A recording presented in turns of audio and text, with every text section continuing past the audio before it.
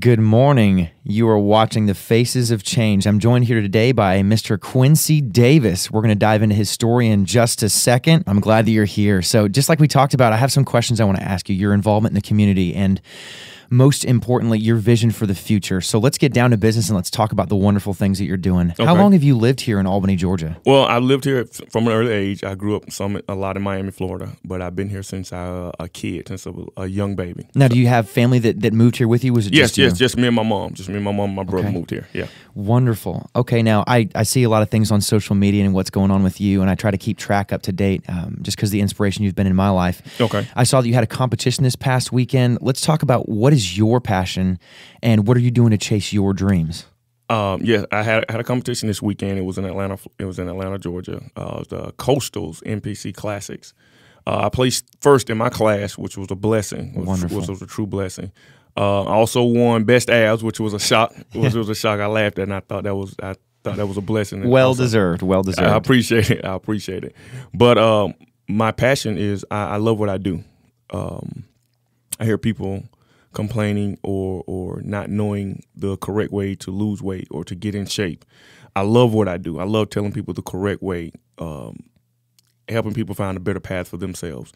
Everyone is different. I have to explain people when they walk into my gym. Everything that you do is not going to be the same that this person does. You have to you have to take your path differently. Some people have to. Some people can walk and lose weight.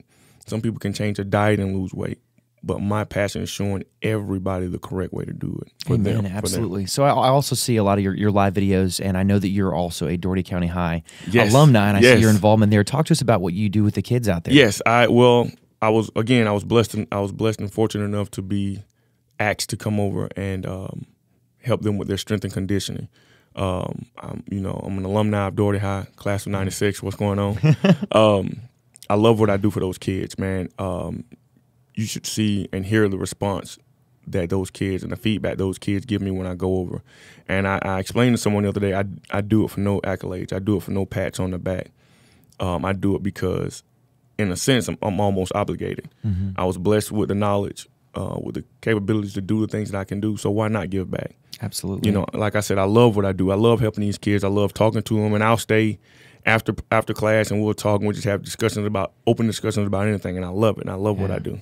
Now, digging a little bit more personally, I know that uh, some of the comments on some of your videos and some of your pictures say that you bear remark- remarkable resemblance to your father, and uh, so let's talk about that. You know, like what, how does that work? And yeah, and my my dad, my dad, uh, I lost my dad. My brother and, and my sister and I, we lost our dad at a, a very very young age. He was 49 years old.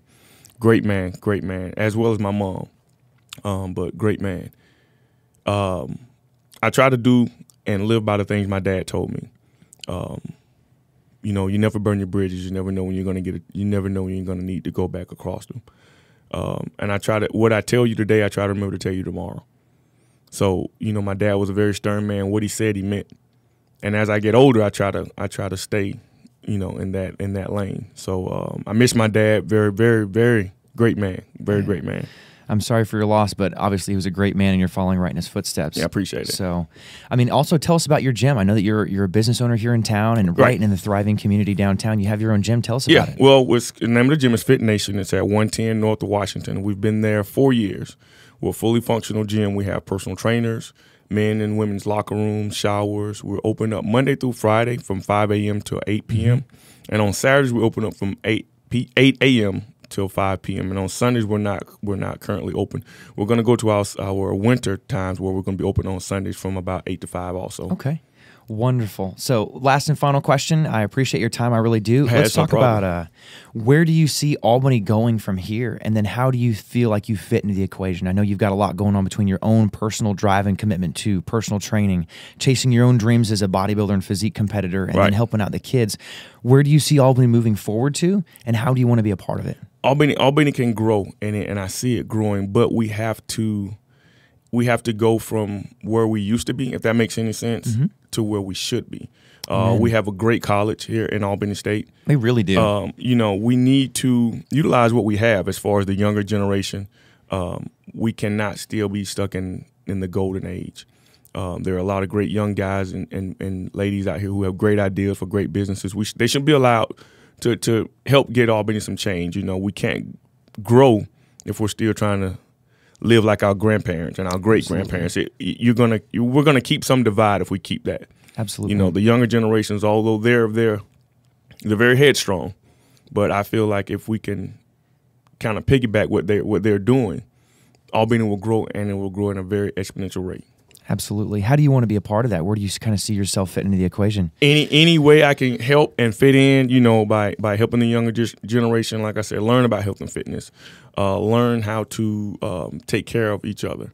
Um, just any way I can, Travis. You know, you know how I am. I mean, you know, from the first time I met you, brother, you know, we we we hit it off. Just always looking for an Yeah, opportunity to just always any anything I can do to help. You know, from um, from middle schools to elementary schools, if, if they need help with conditioning, baseball teams, I'm I'm help I'm doing Girardi roofing their baseball team. My my my shout out to my nephew Cameron Davis. you know, he made um, the USA baseball team. He's the only kid out of Georgia to make that team. So um, any way I can help, man, I'm I'm Wonderful. I'm I'm trying to do it. Well, this is definitely a testament to your willingness to serve. We want to thank you so much for being on our show, The Faces of Change. I And thank you, Travis. Thank you. I really do, man. Fit Nation, thanks you, man. Thank you. And we'll come to you guys next time with another wonderful episode of our Hometown Heroes. You're watching The Faces of Change.